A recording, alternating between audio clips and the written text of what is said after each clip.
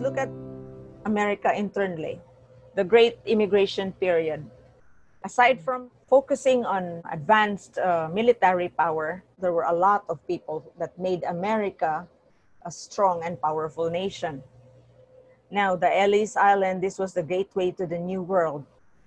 Here you would see immigrants from Europe coming in here um, on, on boats that, are, that were sailing from Europe.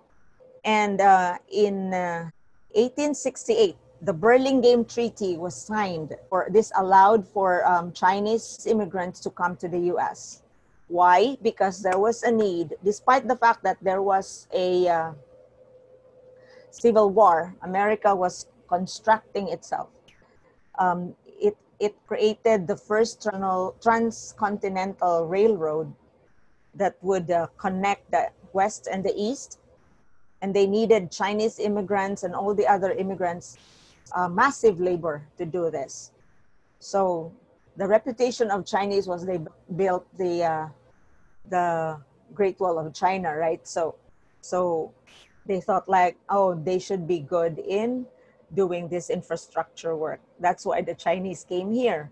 And this is also the reason why there is a there's a Chinatown almost in every part of America. It's because the Chinese were constructing the railroad um, between 1863 and 1869. So when America was growing, it needed a lot of labor. Uh, the people who were constructing the railroad, which paved way for massive industrialization in the subsequent years, they were the black slaves, they were the Chinese, they were the Irish um, people, and the the most the people who had who had lesser pay was the Chinese sense as compared to the Irish who were that's that was how it was.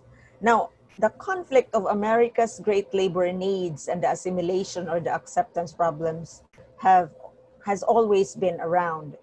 So right after the transcontinental railroad was finished there were so many chinese people here and so it created a lot of uh, riots because you know um, they didn't want the chinese around. So a, a, law was passed the first law that was really officially banning a, a group of people the chinese exclusion act which was passed on may 2 1882 we filipinos were also discriminated against.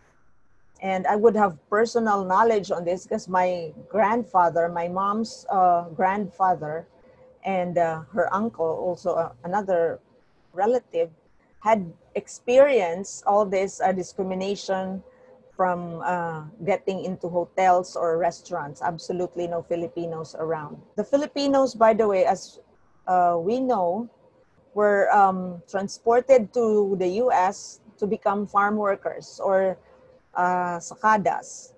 They worked in Hawaii and in California to plant um, asparagus, pineapple, and all that. So you see the huge labor requirement.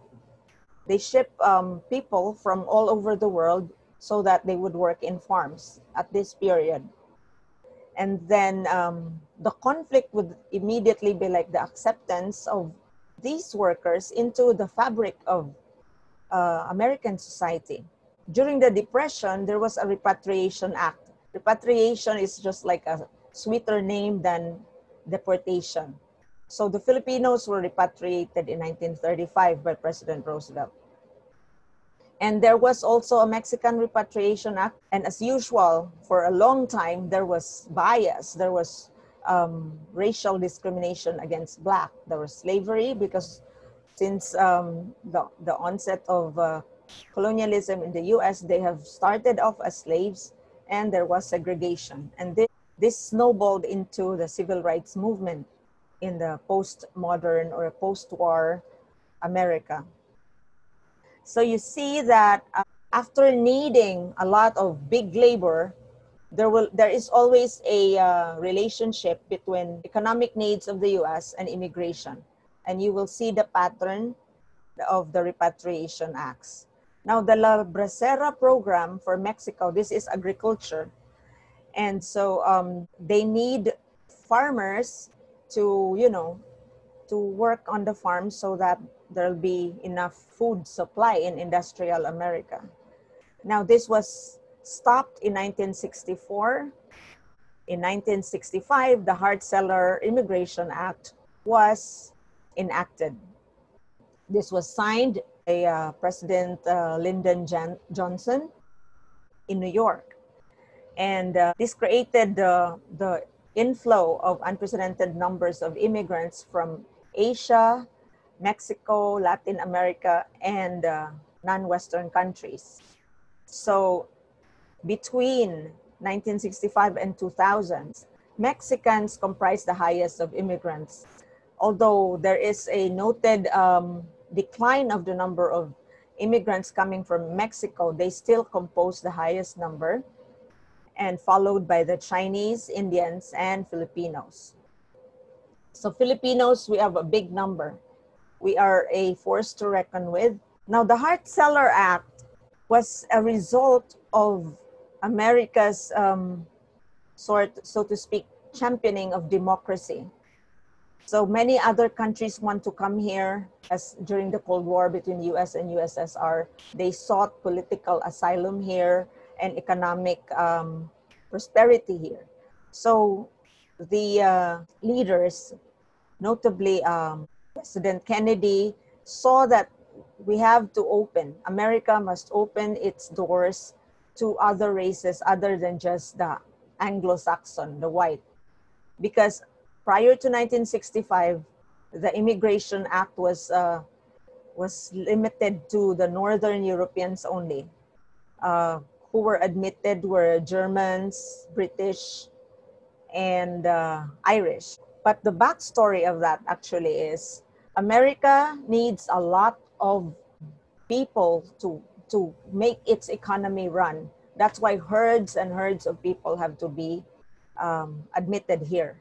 As, as mentioned, there is a, a, correlation of immigration and economic need of the US. Um, at this point, President Trump is worried, and all the other, um, the white race, the conservative whites, are worried that maybe eventually, uh, wants to dominate the landscape of the US would no longer be the white people.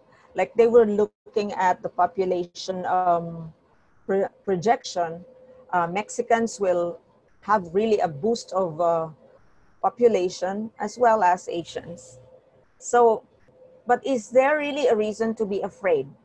Is there really a reason to be insecure of the influx of uh, non white immigrants in America? With that, I leave um, this uh, presentation for our discussion. And perhaps you can share your insights, your critique, so that we have a perspective of uh, our own history here in the US. That we, not, we are not going to be erased, we are going to have our voices heard. So thank you so much. And now let us go into our discussion. Thank you, Maribel.